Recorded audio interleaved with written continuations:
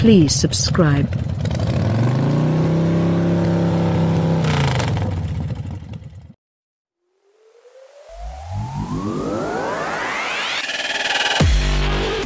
The new 8-cylinder Aston Martin DB11 puts us in something of a philosophical bind, as it poses the question, how much is the right amount of too much? Does a sports car need a completely ridiculous amount of power, or will merely excessive do? With due deference to Mark Donohue's oft-quoted assertion that superfluity would arrive only with the ability to spin all wheels in every gear, this smaller engine version of Aston's coupe makes an excellent case that downsizing can have an upside. The DB11 V8 is the first implementation of Aston Martin's agreement with Daimler to use the German's twin-turbocharged 4.0-litre V8, the same engine that powers high-performance models in the Mercedes-AMG and Mercedes-Benz families. While the engine also will go into the upcoming replacement for the British brand's smaller Vantage, it makes its Aston debut in the DB11. With 503 horsepower, its output is the same as in Mercedes-AMG's C63S, against 600 ponies for the DB11's V12.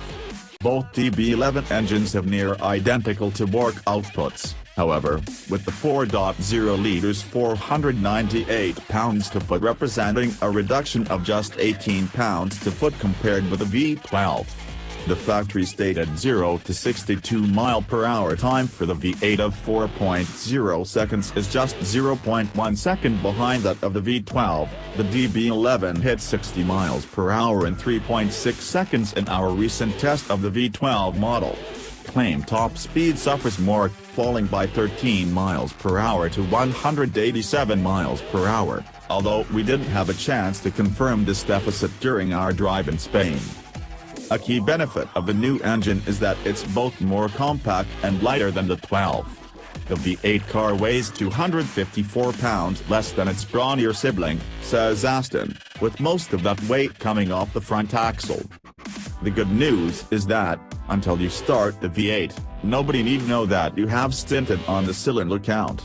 Only the sharpest eyes will be able to spot the differences that distinguish the V8, dark headlamp bezels, new wheel finishes, and two air vents on the long hood instead of the V12 S4. In every other regard it looks identical, with the same muscular design, stunning profile, and immaculately tailored cabin, the last benefiting from a Mercedes-based infotainment system. As with the V12 DB11, we must mourn the passing of Aston's traditional handbrake, a fly-off lever positioned between the driver's seat and door, now there's just a boringly conventional, switch-controlled electric parking brake. And although gadget-loving MI6 operatives might appreciate the motorized cubby that sits between the front seats, which seems like a pretty good size for Walther PPK, waiting for it to power open or close is considerably less convenient than a manual slider would be. The sound and the fury. Any doubts about which power plant your Aston has shipped with are dispelled the moment the V8 fires to life. It sounds magnificent, louder and roarier than the V12 at startup, awakening with the brap rather than the bigger engine's creamier tone. From then onward it just gets angrier snarling under gentle use and, when pushed further, emitting a hard-edged tone that sounds as good from the driver's seat as it does from outside the cabin. Performance gives away little to the V12, indeed, the V8 feels keener at real-world speeds.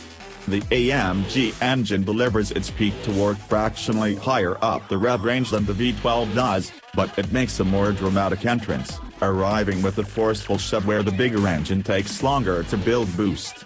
The V8 DB11 seems quicker to react, and throttle response is outstanding. In AMG models, the V8 works with either a 7 or 9-speed version of Mercedes's G-tronic gearbox, which use a multi-plate clutch in lieu of a torque converter. But Aston has paired it with the same ZF 8-speed automatic as the V12, with the more conventional design including a torque converter. Fears that this transmission would fail to play nice with the highly strong engine soon proved to be misplaced. The single most impressive aspect of the powertrain is how integrated the two feel. We noticed some slight throttle surging at very low speeds, the DB11 needs to be maneuvered carefully when parking, but from walking pace and beyond, the transmission delivers impressive smoothness when left in drive, and responses to manual inputs are quick enough to rival a dual-clutch gearbox. The engine's punchy torque delivery also kept the stability control busy on the twisting and wet roads in the Spanish Pyrenees. On the day of our drive, the rain in Spain fell mainly on the mountains. But the conditions also showed the fundamental balance of the chassis to be near perfect, with front and rear grip levels that allow the big coupe to feel agile without becoming scary.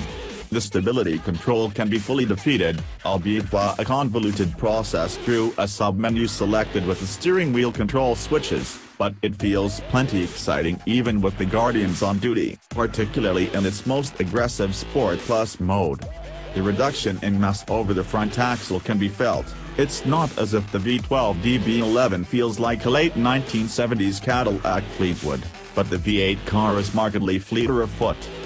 While steering inputs yield strong and positive responses and there are just 2.4 turns lock to lock, the steering wheel itself feels a little too big for hustling. The V8 DB11 might be primarily designed to go touring grandly, but it can pass muster as a sports car. There is some heave on rougher roads with the variable dampers in their soft GT setting, but switching them to sport delivers discipline without any significant increase in harshness. There are complaints, but they are few.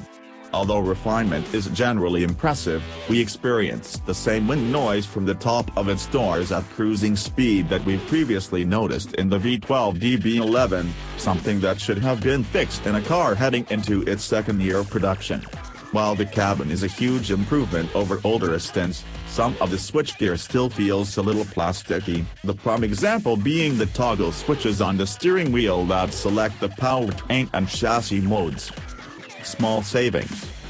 Given the price of a DB11, the $17,500 savings that comes from selecting the smaller engine isn't a particularly tall heap of beans. 10 seconds with the options list could more than wipe it out but there are reasons other than cost to choose it, and not just the marginal fuel savings.